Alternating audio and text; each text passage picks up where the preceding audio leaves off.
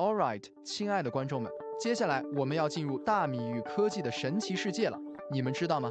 随着科技的发展，大米的生产和种植方式也发生了巨大的变革。让我们一起来看看这些令人惊叹的科技进步吧。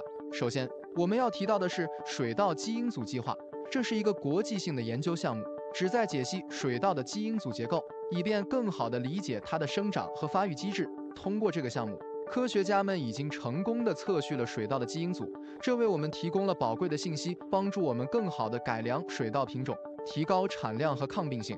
Speaking of which，说到这里，你们知道基因组在英文中是什么吗？Yes, it's genome, and the study of genomes is called genomics. 所以，当我们谈论水稻基因组计划，我们实际上是在谈论水稻的 genomics 研究。再来说说现代的水稻种植技术。随着科技的进步，现在的农民们已经可以使用各种高科技的工具和设备来种植大米，比如无人机、智能灌溉系统、土壤检测仪等。这些工具不仅提高了大米的产量，还确保了大米的质量和口感。此外，还有一些新型的水稻种植方法正在被研究和开发，比如深水稻种植技术。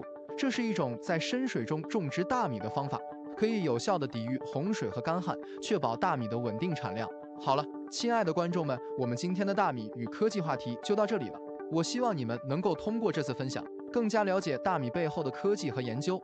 Speaking of rice，说到大米，我突然想起了我小时候的一个小故事。那时候的我每次吃饭都非常挑食，但是有一次，一个特殊的经历让我对大米有了全新的认识。